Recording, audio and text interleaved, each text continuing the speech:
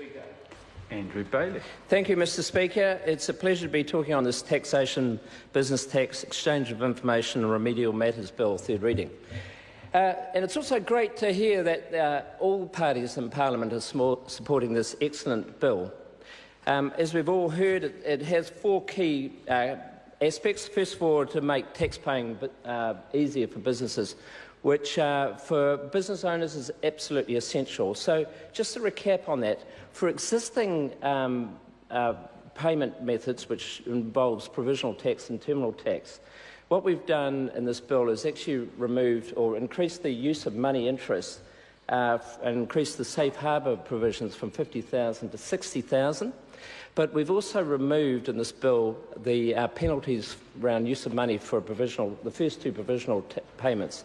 So that's for um, taxpayers choosing to use the existing uh, payment system for their tax.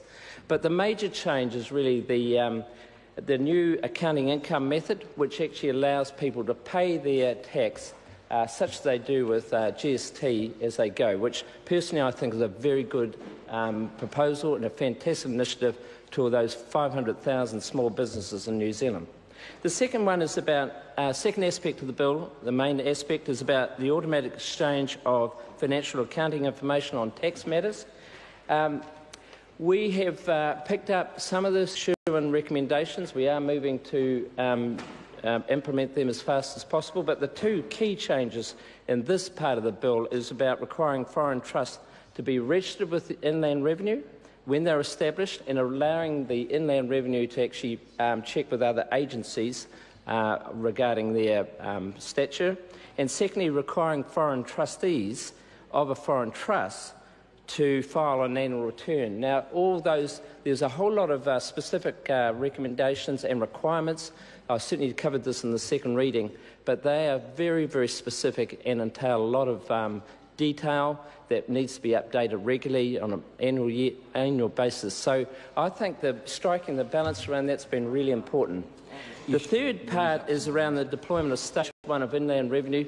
Most people don't know the scale of it. It was originally going to be about a $1.8 billion project. It's now going to uh, project to be uh, costing under a billion dollars. There's four stages to it. This bill deals with the first stage um, and just making that able to be happen and uh, to enable that from a statutory perspective.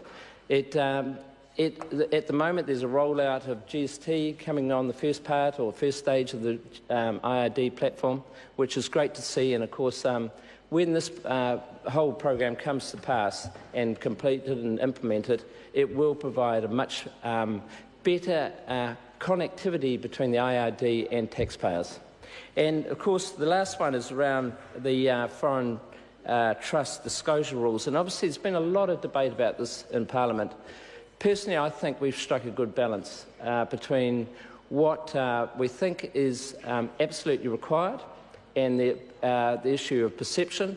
And I think where we've ended up will hold New Zealand in good stead, stead internationally in terms of being seen as a very um, good place uh, for business, but of course we are um, number one in terms of the least corrupt country in the world, and that just reinforces the, um, that position. And I think this bill does that and supports it and underpins it. And on that basis, Mr Speaker, I commend this bill to the House.